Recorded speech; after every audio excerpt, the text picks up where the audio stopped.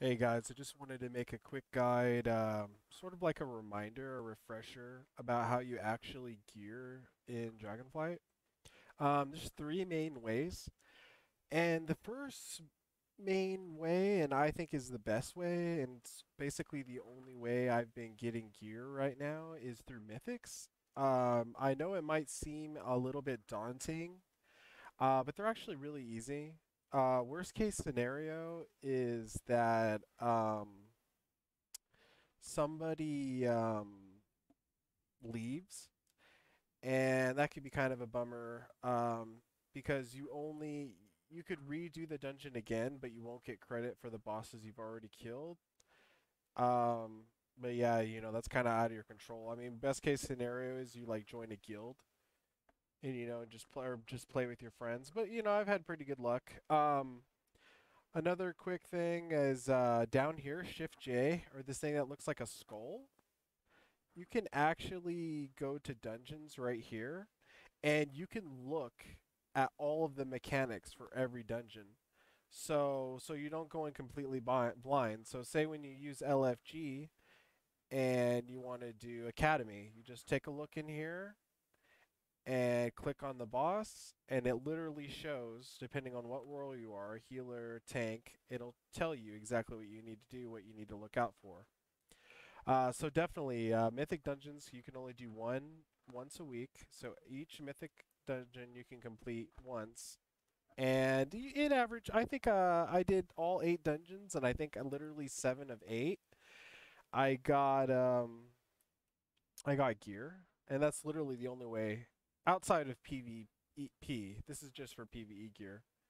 Uh, you don't really want to use PvE gear in PvP. But yeah, I see I got some trinkets. These things were cool. Got a new weapon, you know, it's big boost in damage. Uh, the second way is you can actually get epics through rare, rare spawns. I will leave a link to the Wowhead um, article about where they spawn. Some of them require some certain um, require require some things you need to do to trigger them. Like I know one of them only spawns after the uh, the keep world quest. Like sometimes you need to complete a world quest and then it'll spawn. Um, but yeah, I, I know a good amount of people because every one of those rare spawns you can literally kill once a day, and there are ones that have a chance to drop like three over 372 gear, like epic. Yeah, I think maybe some might even be 382. Uh, yeah, so that's the second way. And it's really viable. Like, I think that's kind of cool that they're making it, you know, they're making multiple ways to gear up. Uh, the third most viable way is from crafting.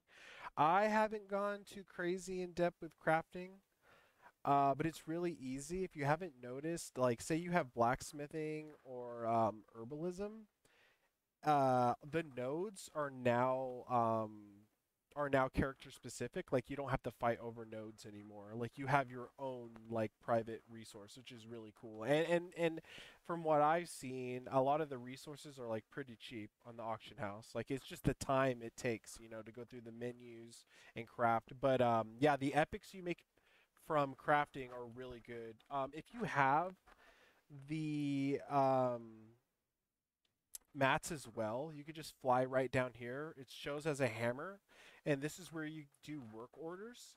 And if you grind all of those crazy mats, as you see, so let's take a look. Let's just take a look at 200 swords, for instance. You can see this is a 382 weapon. And you see, I almost, I, I don't almost have enough, but you can see if you do grind out these mats, you could get the work order done, and it, it's a, it's a low price. They mostly get the the level up out of it. They'll get their profession level up, but you'll get the item. So you see, the professions is really worth it right now. Um, I don't know how worth it's it's gonna be when the raid and Mythic Plus starts out. I'm not sure. I don't know the eye level. But yeah, it's really easy. Um, definitely, if you haven't done your Mythic Zeros, I would say definitely give it a shot. I mean, just press I, pre-made groups, dungeons, find a group, or you can start one and just try to fill the role.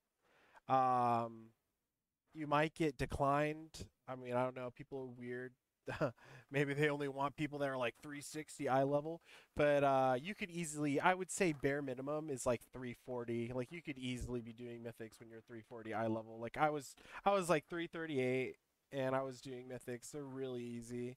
Um, some are a couple tr- are a little bit tricky. Um, Ruby Life's fi- final boss maybe is a little bit tricky. Uh, all the other ones are really simple though. The final boss on uh, Ruby Life Pools, though, I remember was a little bit tricky. I mean, I could see Pugs having a problem there. Anyway, thanks a lot, guys. Um, like and subscribe for more videos. Gonna try to pump out more guides. Look out for guitar guides coming. And yeah, have a happy new year.